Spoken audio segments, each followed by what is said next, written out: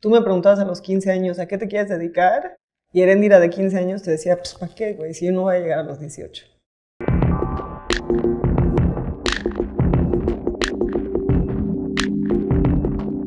Yo no sabía que también había como muchas cosas químicas sucediendo en mi cuerpo y en mi mente que no me permitían serlo. Yo a los 15 me vengo a vivir a México por todos estos problemas con los que iba cargando y que poco a poco, por haber decidido no escuchar mi cuerpo, por haber decidido caer en esta narrativa autodestructiva, había decidido no, no amarme, básicamente, ¿no? Y entender y escuchar lo que los demás decían de mí y tomarlo como mi verdad.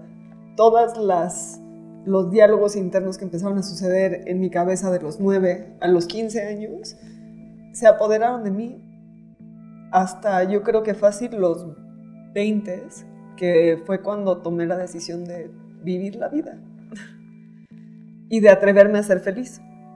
Entonces, creo que en ese momento hay como mis, mis momentos principales cuando decidí estar viva y cuando decidí que la vida la iba a vivir a mi manera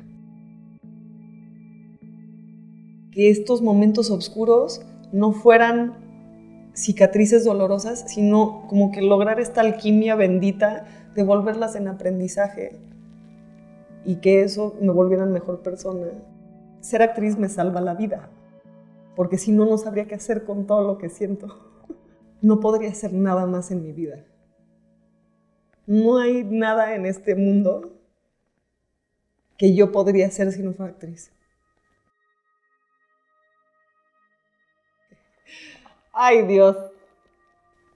Bueno, pues